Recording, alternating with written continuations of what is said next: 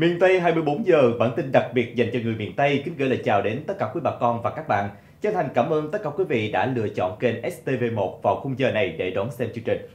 Quý bà con cũng đừng quên số điện thoại đường dây nóng của chương trình là 0855 777740. Rất mong là quý vị sẽ tiếp tục cung cấp cho chúng tôi những thông tin phản ánh hay những sự việc nóng đang diễn ra tại nơi mình sinh sống. Và hôm nay ngày 13 tháng 2 năm 2019 nhằm ngày mùng 9 tháng Giêng năm kỷ hợi, chúng ta sẽ cùng điểm qua những thông tin nổi bật ngay sau đây. Tai nạn giao thông hy hữu, xe tải làm xiết bay qua cây xoài tông vào nhà dân trong đêm tại Cà Mau. Ghi nhận đầu năm mới tại Long An, nông dân trồng mía lại ngậm ngùi đốn bỏ cây. Hàng ngàn người chen lấn giành sợi chiếu cầu con trai tại lễ đúc bục ở Vĩnh Phúc. Truyền cảnh giác tiếp tục câu chuyện đấu tranh ngăn chặn nạn cho vay nặng lãi ở miền Tây. Quý bà con thân mến, hôm qua mùng 8 Tết tại Tam Dương, Vĩnh Phúc đã diễn ra lễ hội đúc bụt, một lễ hội truyền thống của người dân địa phương. Và theo phong tục thì có ba thanh niên trẻ chưa vợ sẽ được chọn làm bụt, xuất thân trong gia đình song toàn, ấm êm, hòa thuận, được hàng xóm mến phục tin yêu. Theo quan niệm, rút được chiếu của bụt giữa là may mắn hơn cả. Khoảng 80% những người cướp được chiếu giữa sinh được con trai. Và cũng chính vì thế mà đã có hàng ngàn người đến tham dự lễ hội rồi tranh nhau cướp giành sợi chiếu. Mặc dù để tránh tình trạng chen lấn xô đẩy thì một hàng rào ngăn cách khu vực làm lễ được dựng lên và sau đây là những hình ảnh ghi nhận tại lễ hội. Năm nay, ba thanh niên được chọn làm bục là Nguyễn Đức 18 tuổi, Trần Trọng Hưng 16 tuổi và Ngô Trung Hải 18 tuổi. Theo đó, hàng ngàn người đã chen lấn xô đẩy, chỉ được chạm tay vào chiếu và hơn nữa là lấy được sợi chiếu ngay trong lúc các nghi lễ rước bục diễn ra. Trên đường trở về đình để báo cáo với thành hoàng làng, đội bảo vệ rất vất vả để đưa được bụt đến nơi an toàn. Sau khi chiếu được nhấc ra khỏi người bụt phát cho người dân, hàng trăm người đã ùa vào, cả đàn ông hay phụ nữ cũng tranh cướp với mong muốn sinh con trai. Mặc dù không có ai bị thương, nhưng cảnh tượng này khiến cho hình ảnh của một lễ hội văn hóa mang tính làng đã bị phần nào xấu đi. Quý bà con thân mến, hát bội hay còn gọi là hát bộ là một trong những di sản văn hóa đặc trưng và độc đáo của Nam Bộ nói chung, của đồng bằng sông Cửu Long nói riêng. Ngày xưa ở miền Tây chúng ta thì hát bội diễn ra ở khắp nơi, từ thành thị đến nông thôn, phần nhiều vào các dịp Tết, lễ hội vía bà, cúng đình.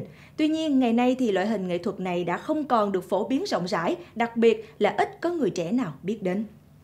Tuy nhiên thì mấy ngày nay tại đình An Thành của xã An Bình, huyện Long Hồ, tỉnh Vĩnh Long đã tổ chức tiết mục hát bội truyền thống dân tộc với mong muốn là quảng bá loại hình nghệ thuật đặc trưng này. Các tiết mục biểu diễn đã khiến cho nhiều du khách ghé thăm thích thú, đặc biệt là du khách người nước ngoài.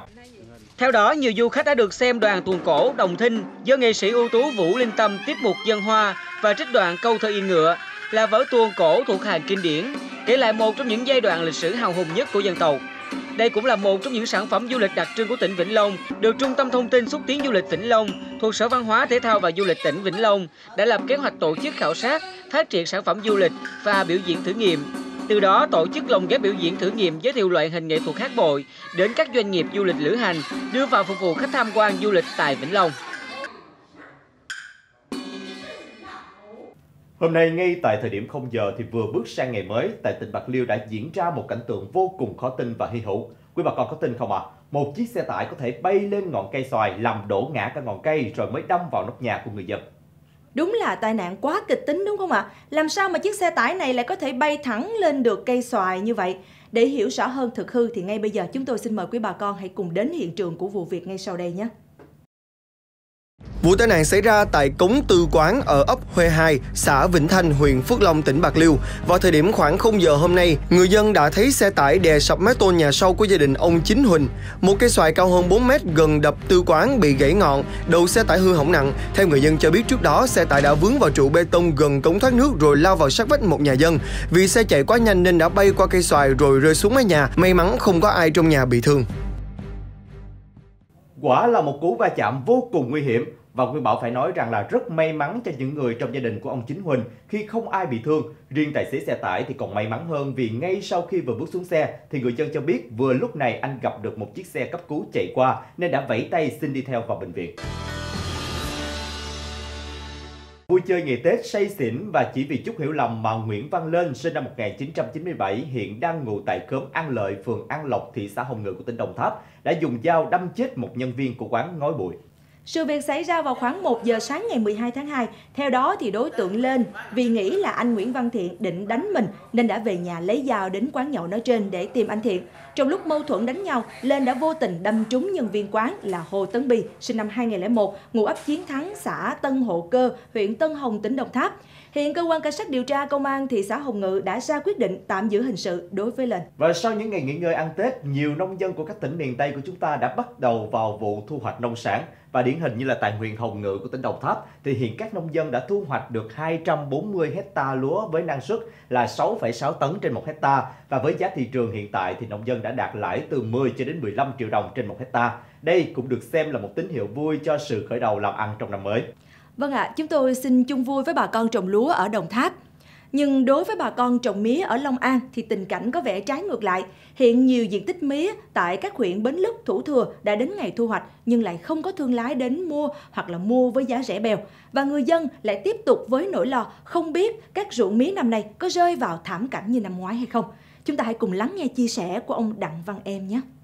Tôi là đúng một mẫu nhưng mà cho rồi không có người đốt luôn rồi giờ đốt bắt đầu tôi phải đốt phá chứ không có ai mà mua đó tết thì coi như đương nhiên cha mẹ ông bà mình phải cúng thôi chứ còn giờ tiền bạc thì không có mía là chỉ đốt bỏ thôi chứ cho con cháu mà nó không đốt luôn Trồng mía lên chờ ngày thu hoạch mà giờ phải ngậm ngùi đốn bỏ mía vì nhiều thương lái từ chối mua. Nhìn cây mía to, thẳng tắp còn đứng trơ trơ sau khi đốt, lòng ông Đặng Văn Em như ngàn lại. Gia đình ông đã đầu tư gần 50 triệu đồng cho mỗi hecta mía, coi như vụ này mất trắng.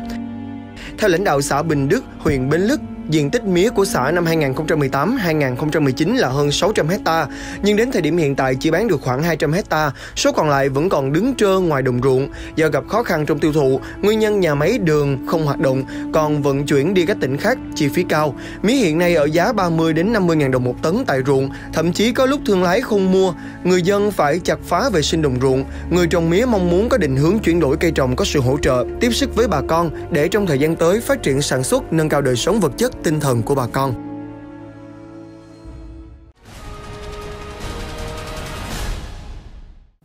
Vâng thưa bà con, dù đã 119 tuổi rồi nhưng mà bà cụ này vẫn khá là minh mẫn, ăn uống tốt và thích diện đồ đẹp. Điều đặc biệt là cụ bà có đến 10 người con và gần 200 người cháu. Xin mời quý vị bà con hãy cùng theo dõi sau đây nhé.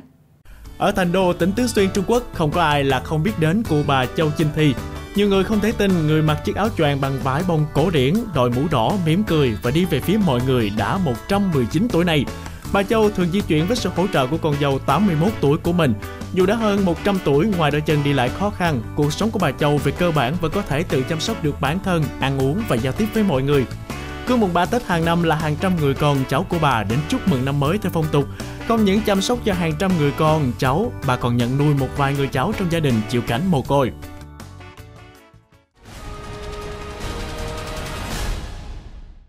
Đây là khoảnh khắc lực lượng cứu hộ Nam Phi đang giải cứu một bé gái sơ sinh từ cống thoát nước mưa. Nhóm giải cứu cho biết bé gái bị kẹt bên trong đường ống và bị nước cuốn trôi vào sâu hơn nên họ phải đào một cái rãnh dọc theo đường ống này. Sau khi đến được vị trí của đứa trẻ, họ đập vỡ đường ống và cứu em lên. Cô bé được bế ra ngoài ánh sáng và đặt vào chiếc khăn trắng. Nhóm chuyên viên y tế ngay lập tức kiểm tra và sau khi không phát hiện thương tích nghiêm trọng, bé gái được đưa lên trực thăng tới một bệnh viện gần đó.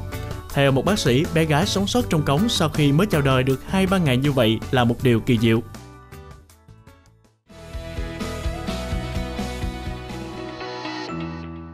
Kính thưa quý bà con, giữa cuộc sống còn nhiều khó nhọc, những câu chuyện trộm cắp, lừa lọc khiến cho người ta hoang mang, thì đâu đó trên mảnh đất miền Tây yêu thương của chúng ta vẫn luôn hiện lên những tấm lòng tốt. Nguyên Bảo xin được ví những tấm lòng này như là bông hoa hướng dương tỏa ngát hương sắc làm cho cuộc đời thêm tươi đẹp. Chiều ngày 12 tháng 2, Công an xã Mỹ Hòa, huyện Tháp 10, tỉnh Đồng Tháp cho biết vừa trao trả tài sản hơn 100 triệu đồng cho người đánh rơi tài sản. Và người đã nhặt được số tài sản này là em Hồ Lý Hương Thương, ở ấp 5 xã Mỹ Hòa đã nhặt được một cái giỏ sách ở dốc cầu gần nhà, trong đó có 4 cây vàng, một số tiền mặt và một điện thoại di động. Được biết, đây là lần thứ hai em Hồ Lý Hương Thương trả lại của rơi cho người bị mất. Còn vào trưa ngày 12 tháng 2, một quán cơm nghĩa tình có tên là Đồng Hành đã được khai trương tại số 83 đường Nguyễn Tất Thành, phường 1, thành phố Sa Đéc, phục vụ công nhân lao động và người nghèo, người có hoàn cảnh khó khăn với giá chỉ 2.000 đồng một phần cơm. Quán cơm này do anh Phạm Minh Thiện, giám đốc doanh nghiệp tư nhân Cỏ Mây thành lập. Quán cơm phục vụ người dân hàng ngày từ 11 giờ đến 12 giờ 30 phút. Tôi muốn cái giá cái giá bán nó phải à, nó không là một cái mối bận tâm đối với cái người à, khách ăn. Do vậy là tôi nghĩ thu 2 ngàn để là à, bên mua không phải ngại. Có dĩa cơm nào mà 2 ngàn đâu, mà 2 ngàn ăn thử cũng ngon lắm. Thay vì mình ăn dĩa cơm 15, 20, mà nay có giá có 2 ngàn thì mình ăn được mấy ngày nữa. Kính thưa quý vị và các bạn, chương trình ngày hôm qua thì chúng tôi có đề cập đến một cơn bão mang tên là tín dụng đen đang càn quét qua các tỉnh thành miền Tây. Sự nở rộ của những đường dây đã khiến cho nhiều người phải lãnh hậu quả khi mà không có khả năng trả nợ, bị các đối tượng đòi nợ thuê khủng bố tinh thần, thậm chí là gây ra án mạng. Cũng chính từ điều này, việc ngăn chặn và đẩy lùi nạn tín dụng đen là một nhiệm vụ cấp thiết nhằm góp phần làm lành mạnh hóa thị trường tín dụng, ổn định cuộc sống của người dân. Tuy nhiên, đâu là giải pháp để có thể quản lý, siết chặt tín dụng đen cũng như người dân cần làm gì trước cơn bão này? Xin mời quý vị và các bạn hãy cùng tiếp tục theo dõi phóng sự sau đây. Người phụ nữ này là nạn nhân của tín dụng đen. Trong nước mắt chị kể lại nỗi sợ khi bị nhiều đối tượng kéo đến nhà hành hung vì chậm đóng tiền. Sự việc đêm hôm ấy là ký ức kinh hoàng đối với gia đình của chị. Tá lả dân á, nắm đầu tôi ra trước, trước cửa hàng ba quýnh tôi tiếp nữa quýnh tôi tiếp nữa thì thì trong lúc đó trong băng đó có một người nào dội đèn lên mở cái công tắc á của nhà tôi ấy, thì tôi thấy tôi thấy khoảng là năm người còn mấy người đứng mà trước nữa là tôi không biết ai là ai chứ á. Dùng dao á, là lấy cái dao gì rồi khứa tay tôi. Nói mày không trả tiền tao tao khứa tay mày. Rồi dùng dây xích mà dây xích lò tối á quýnh trên lưng tôi. Quýnh rồi bắt tôi quỳ xuống lại nữa. Rồi tôi cũng sợ quá tôi quýnh rồi trong lúc đó thì cũng có một tốp người quýnh chồng tôi trong này nữa. Trong vòng một năm, Công an thành phố Cà Mau đã phát hiện xử lý 8 vụ cho vay nặng lãi, liên quan đến 28 đối tượng. Tại Hậu Giang xảy ra 7 vụ có 54 nạn nhân. Còn ở Sóc Trăng, từ giữa tháng 12 năm 2018, Công an tỉnh đã triệt phá 13 vụ cho vay nặng lãi với 23 đối tượng, số nạn nhân hơn 450 người. Theo thống kê của Bộ Công an, hiện tại cả nước đang đấu tranh với 124 băng nhóm, 831 đối tượng hoạt động có tổ chức liên quan đến cho vay nặng lãi và đòi nợ thuê. Tuy nhiên, cái khó trong điều tra xử lý đối tượng cho vay nặng lãi là việc xác định đối tượng phạm tội, mức giá trị cho vay có khi chỉ vài triệu đồng. Chưa hết, nhiều người là nạn nhân của tín dụng nhưng không hợp tác với cơ quan điều tra do lo ngại trả thù hoặc sợ gia đình người thân biết. Vậy thì làm thế nào để ngăn chặn tín dụng đen? Bộ luật dân sự năm 2015 quy định à, nếu trường hợp mà lãi suất cho vay thì không được vượt quá 20% một năm. À, và người nào thực hiện hành vi cho vay mà gấp 5 lần à, mức lãi suất vừa nêu à, thì sẽ xác định đây là hình thức cho vay lãi nặng. Khi mà người dân à, tiếp cận gói vay à, mà bị những đối tượng à, cho vay à, thực hiện những hành vi như là uy hiếp về tính mạng, sức khỏe cũng như là tinh thần buộc à, con nợ phải trả ngay số tiền mà vay hoặc là số tiền lãi À, thì người dân cần báo ngay với chính quyền địa phương để có sự can thiệp kịp thời. Là khi người dân là cần dây vốn để làm ăn, thì nên là liên hệ trực tiếp đến các cái ngân hàng, nhà nước hoặc các cái tổ chức tín dụng mà của nhà nước là để à, dây à, không tham gia người không dây tiền của các cái nhóm đối tượng không mà có cơ quan tổ chức ờ, cơ sở pháp nhân rõ ràng để ngăn chặn cơn bão tín dụng đen, lực lượng công an các tỉnh miền Tây đang tập trung đấu tranh triệt phá các băng nhóm, chính quyền cơ sở và các ngành liên quan siết chặt việc quản lý cấp phép kinh doanh cho các loại hình dịch vụ mà tín dụng đen núp bóng, quản lý nhân viên các cơ sở kinh doanh tài chính, cầm đồ tạm trú trên địa bàn, quản lý các đối tượng bất minh về cho vay nặng lãi, đòi nợ thuê.